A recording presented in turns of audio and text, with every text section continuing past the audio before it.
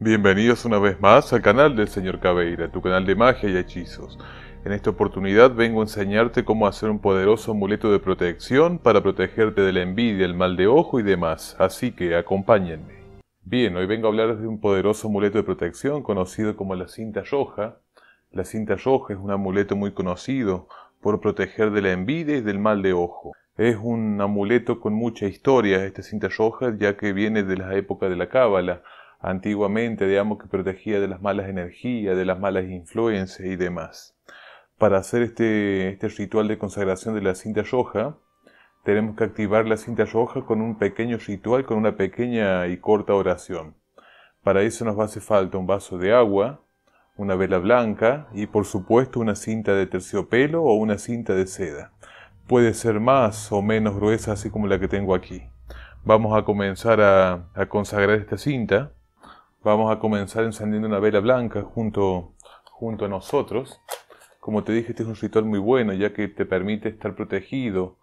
Te permite, por ejemplo, este amuleto que tú lo hagas para, para un hijo, un sobrino, ¿está bien? Y protegerlo así de la ojeadura, del mal de ojo, también de la envidia, para que esas energías no, no lo alcancen, para que no le traigan problemas de la salud o problemas así a un niño también, ¿está bien?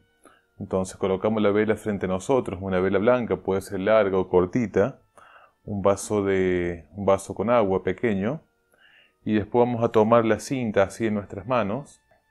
Vamos a hacer ahora la siguiente oración para consagrar esta cinta. Vamos a decir lo siguiente. En este momento invoco la protección de los seres de luz. Responden a mi llamado, purifiquen y consagren este amuleto con su luz y protección, para que su uso me proteja del mal y de la envidia. Agradezco el que me escucharan y sé que así se hará.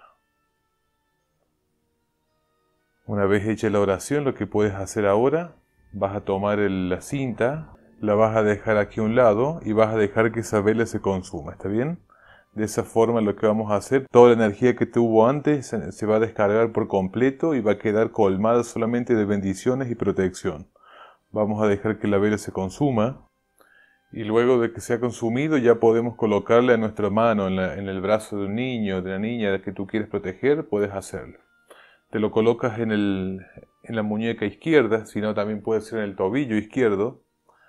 Lo colocas así y te lo atas. Le haces al menos dos nudos. ¿Está bien? Tenemos uno aquí y le hacemos otro así. El sentido de este ritual corto pero efectivo es consagrar este, este amuleto. ¿Está bien? ¿Qué quiere decir eso? Que si no, no deja de ser una, una sola cinta de papel o una sola cinta de seda, de tela, ¿está bien? Sino que debe, se tiene que activar ese efecto protector de la forma correcta. Te lo atas bien, el resto que te sobra lo puedes cortar con alguna tijera, siempre cortas por fuera y no por dentro. Tomamos entonces el resto y cortamos lo que sobra. Lo vamos haciendo así. Y lo ves ahí. Yo también tengo mi propia cinta protectora, pero es para otra cosa ¿está bien?